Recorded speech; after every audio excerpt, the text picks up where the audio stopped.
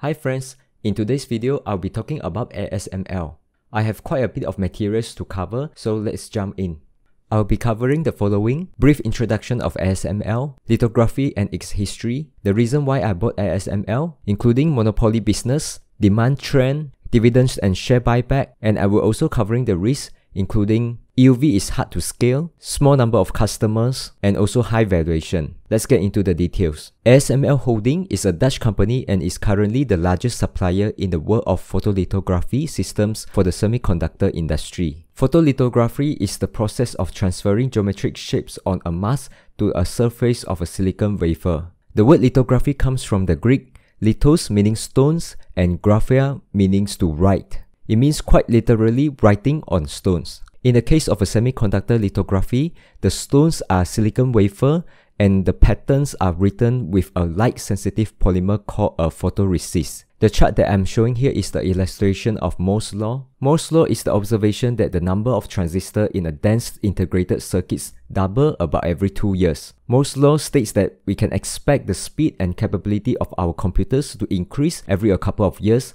and we will pay less for them. The process node refers to a specific semiconductor manufacturing process and its design rule. Right now we are at 5 nanometers and we will move to 3 nanometers and 2 nanometers in the next few years. The nanometer generally refers to the fabrication process rather than the processors itself. A lower numbers means we can pack the chip more densely which generally gives a performance boost. Why are smaller semiconductors better in tech? Smaller chips means more smaller transistors can be packed into a tinier space. Electrons have to travel a shorter distance, saving energy and time. That's why smaller nanometer processors are typically faster than the larger ones, and why newer generations of increasingly smaller processors can be speedier without using more energy. Let's take a look at the evolutions of photolithography. When semiconductor manufacturing started in the 1960s, the way scientists would imagine a mask design onto a silicon wafer is through a technique called contact printing. Essentially, they would take the mask, have it sit right on top of the photoresist layer and then illuminate. The problem with this is that they could not really scale this up to a manufacturing because as you take this mask on and off, it takes pieces of the photoresist layer with it. And over time, this mask will degrade, which will ultimately lead to a defect and the device won't yield. A quick way to fix this was the next evolution known as proximity printing. Basically, they take the mask and separate it from the photoresist so there's a gap that they then illuminate. They get rid of the contamination defects because they are not touching the photoresist layer anymore. The trouble with this is the resolution is limited as they can only get features of about 2 microns in size. Next evolution is known as lithography projection printing. They illuminate through a condenser lens that then project an image onto the silicon with its photoresist layer. A big advantage of this system is is that they can now shrink. This now opens up a resolution of nanometers rather than micrometers, allow them to make even smaller features. The next evolution is a technique called immersion or the wet system. They basically put a layer of water on top of the photoresist layer. What this does is that with this water layer, they are able to change the refraction angle of light to enter the photoresist at a much sharper angle, which allows to have features with a higher resolution. The next step in this evolution is to change the light source to extreme ultraviolet light or EUV. They start with just a simple CO2 laser, amplify it and bring the laser into a vessel. On top of this vessel is a generator that drops in little droplets of the metal tin. They hit each one of these droplets of tin with two pulses of lasers. The first pulse takes the tin and flattens it, then they hit it again with a second bigger pulse that obliterates and vaporizes it, which then creates a plasma. Energy is released as light and the wavelength of this light is at extreme ultraviolet. They then collect this light with a parabolic mirror, focus it and bring it into the scanner. So the extreme ultraviolet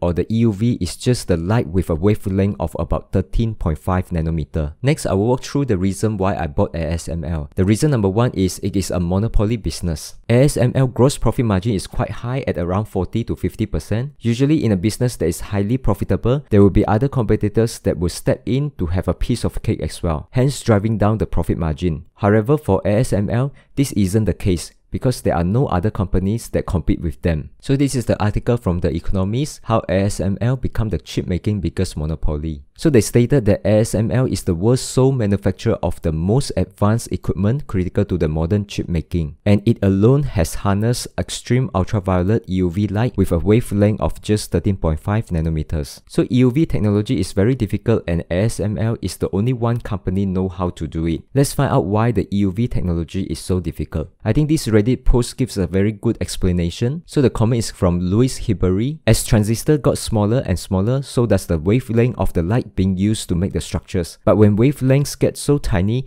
they end up getting absorbed materials, mirrors, the mask itself and never make it to the wafer. So for EUV, ASML had to basically create a new way to make light. And the solution is to drip molten tin into the chamber and hit it with a laser to create a bright light or plasma that can make it through the series of mirrors and masks to the wafers. And it happens 50,000 times a minute. Semiconductor manufacturing is one of the closest things to magic that exists in day-to-day -day life. Incredible engineering. Let's move on to the next reason, which is increasing demand for high performance chip. Let's Let's take a look at this article from Reuters. TSMC now expect to lift capital spending on the production and development of advanced chips to between 25 billion to 28 billion this year, as much as 60% higher than the amount it spent in 2020. Demand for chips has been so high that manufacturers around the world are sounding alarm bells about shortages. Several car makers have seen production plans hit by the insufficient supply, leading TSMC to see a jump in demand from automakers in the fourth quarter. Future market insights also see that the the EUV lithography market to grow at 22% CAGR, demand to be moderately impacted by coronavirus pandemic as semiconductor production falls. As long as there's high demand for high performance chip, semiconductor companies like Samsung and TSMC will continue to expand their capacity, and they definitely need the EUV from the ASML. The third reason why I bought ASML is it is a very profitable business, which then leads to dividends and share buyback. Let's take a look at the cash return policy. ASML aims to pay an annual dividend that will grow over time. Here you can see that the dividend has been increasing in the past 10 years. After paying dividend, ASML used remaining free cash flow for share buyback. This will shrink the outstanding shares and increase the earning per share forward. Imagine that after you invested in the companies and just sit there and do nothing, and your percentage ownership of the company will increase over time because of the decrease in the outstanding shares. So this is definitely good for the investor. Let's also talk about the risk. The first one that I would like to highlight is that EUV is hard to scale. Because the manufacturing process is so difficult and require hundreds hundreds of parts from other suppliers, it is hard to scale the manufacturing of the EUV. It was only a couple of weeks ago when ASML announced that they have shipped their 100 EUV to the customers. So although the demand for EUV is high, production will take time. The second risk is that there are small numbers of customers. Their customers are mainly just TSMC and Samsung. This is generally bad for ASML because if one of their customers reduce the capital spending, that will hurt ASML business significantly. Take TSMC as an example. When US banned the use of American technology to make chips for Huawei that has forced TSMC to stop taking orders from its client. But TSMC could shift the production capacity to another clients which then cushion the impact to their business. ASML on the other hand will not have such advantage because their business are mostly relying on TSMC and Samsung. When it comes to pricing, a business that has small number of customers will also have difficulty to raise prices in the future. However, this may not be so applicable to ASML as there is no other suppliers for EUV. The third risk is high valuation. ASML valuation is not cheap